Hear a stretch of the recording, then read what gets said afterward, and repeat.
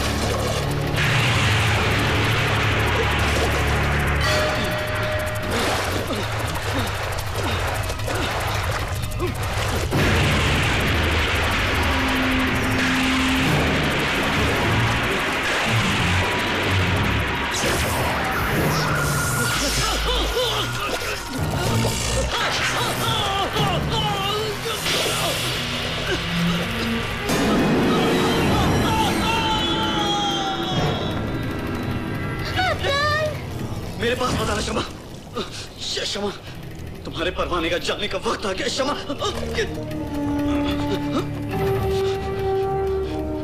दोस्तों, मैं तुम्हें हंसाने के बजाय रुला कर चाह मुझे माफ़ कर देना। मेरी शमा का ख्याल रखना। खुदा हाफिज खुदा हाफिज।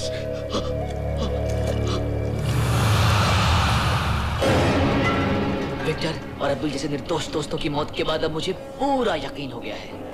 हम लोग सब के सब मारे जाएँगे। Everyone will be killed Vivek बिल्कुल ठीक कह रहा है। वो कोई ऑर्डिनरी सांप नहीं है। ना ही दिव्या कोई आम लड़की। They are supernatural powers what supernatural power अगर वो सुपरनैचुरल पावर है तो इसका मतलब हम हाथ पे हाथ रख के बैठ रहे हैं। हाँ?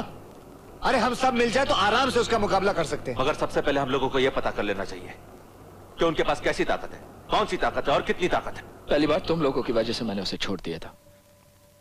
लेकिन दोबारा अगर वो मेरे सामने आए ना तो सांप के बच्चे की दुम पकड़कर मैं उसे ज़मीन पर पटक पटक कर मार दूँगा। लेकिन वो हमारे हाथ आएगा कैसे? मैं बताता हूँ। वो लोग मौत से भी आगे जा चुके हैं। इसलिए उनका कुछ नहीं बिगाड़ सकते। सच तो यह है कि आज जहाँ हमारी साइंस खत्म होती है वहीं से इन ताकतों की शुरुआत होती है। मैं पैरासाइकोलॉजी का प्रोफेसर हूँ। अगर तुम वाकई इस प्रॉब्लम का हल चाहते हो तो आओ मेरे साथ।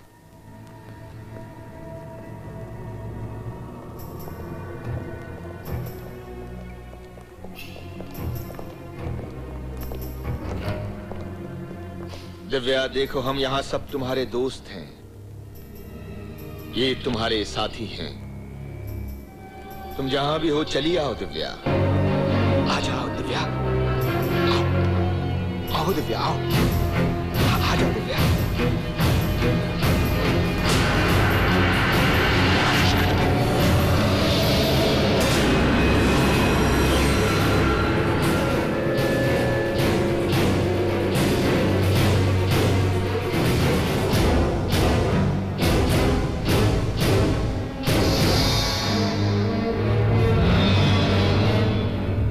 तुम लोगों ने मुझे यहाँ क्यों बुलाया?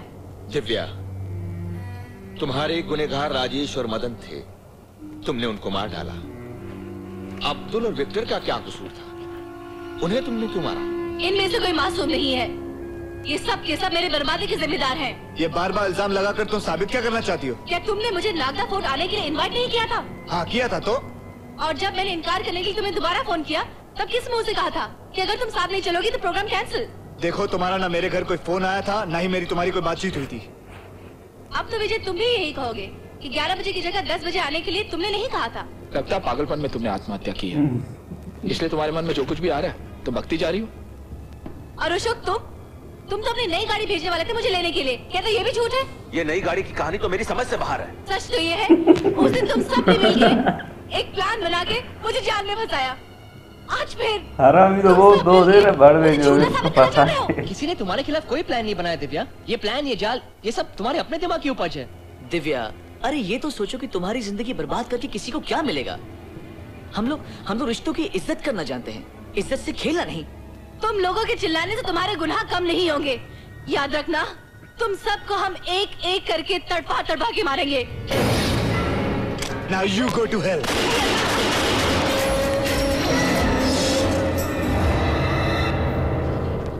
आत्मा क्या गोली से मरती है? अब मैं लाख चाहूँगा तब भी दिव्या को नहीं बुला सकता। So what sir? मैंने कोई पाप नहीं किया मेरा कोई कसूर नहीं है वैसे भी मैं ये आत्मा आत्मा से नहीं डरता।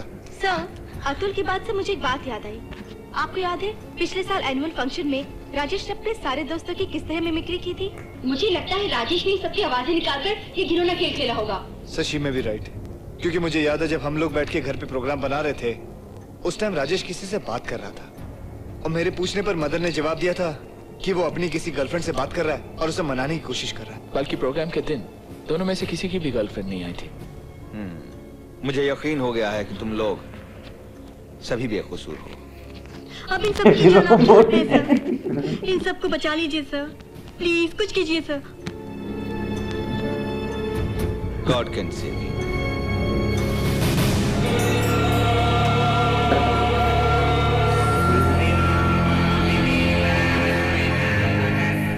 आत्मा से बड़ी ताकत परमात्मा की होती है। वहीं से हर ताकत जन्म लेती है और वहीं पर होती है।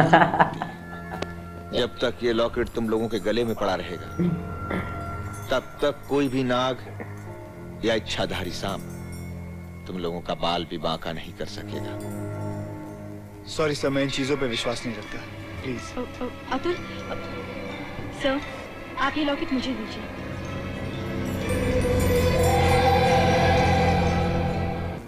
प्लीज़ अतुल पहन लो ना इसे।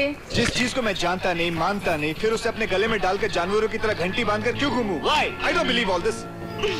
रुक जाओ ना प्लीज़ प्यार का मतलब ये नहीं होता कि मैं तुम्हारी हर जिद पूरी करूँ। मैं क्या तुम्हारा बुरा चाहती हूँ अतुल? भगवान के लिए ना सही पर फ़ैशन के लिए तो गले में डाल सकते हो ना? मैं ऐसी कोई चीज़ नहीं पहनूँगा जिसका ताल्लुक धर्म या भगवान से हो। बस।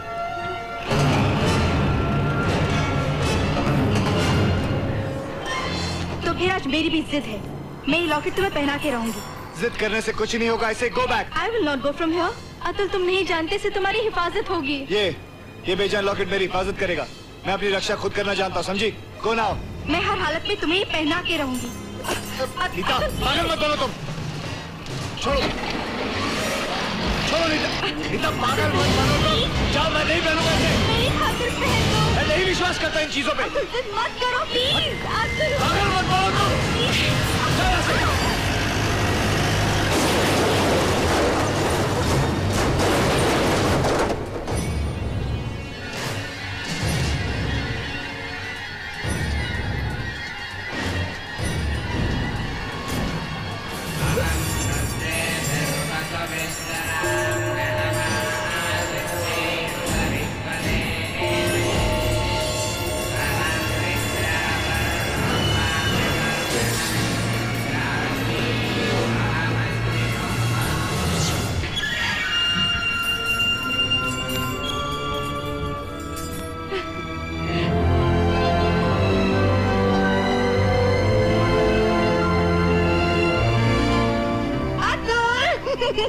लव यू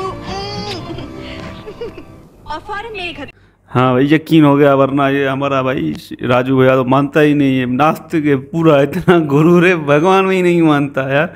सामने आत्मा आई है फिर फिर भी यकीन नहीं कर रहा यार गोलियाँ मारा है आत्मा को।